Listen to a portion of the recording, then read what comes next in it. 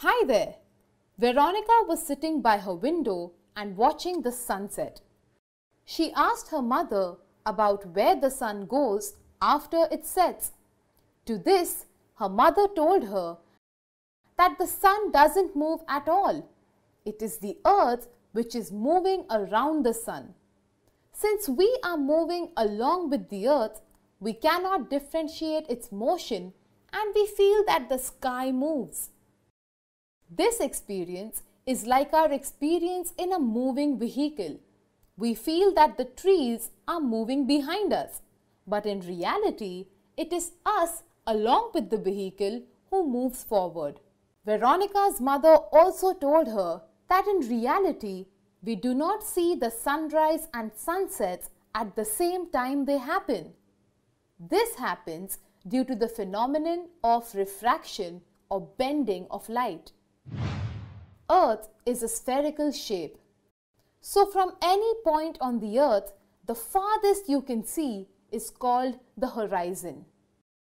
We see things when they are at or above the horizon. When the sun appears to move above the horizon, we say it is rising and when it appears to move below the horizon, we say that the sun is setting.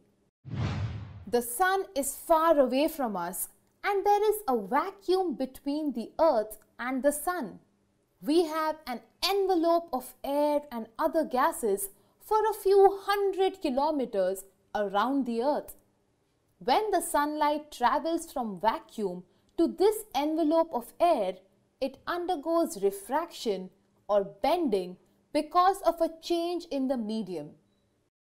Now, if we trace back the source of this bent light ray, they seem to appear from a higher position than the actual position of the sun. That is why the sun appears to have risen even though it hasn't. Something similar happens during the sunset. The rays of light bend at the atmosphere and if the rays are backtraced, the sun appears to be present above the horizon even after it has set. Thus, refraction or bending of light causes us to see an early sunrise and a delayed sunset. It was calculated that we see the sunrise two minutes early and the sunset two minutes later than its actual occurrence. Refraction or bending of light also causes the sun to appear squashed during the sunrise and sunset. Let us take the scenario where the sun is setting.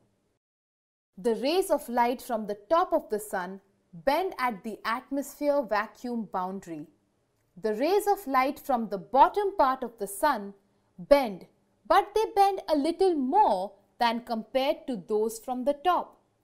Thus, the shift in the part at the bottom of the sun is more than compared to the top part which causes it to appear squashed.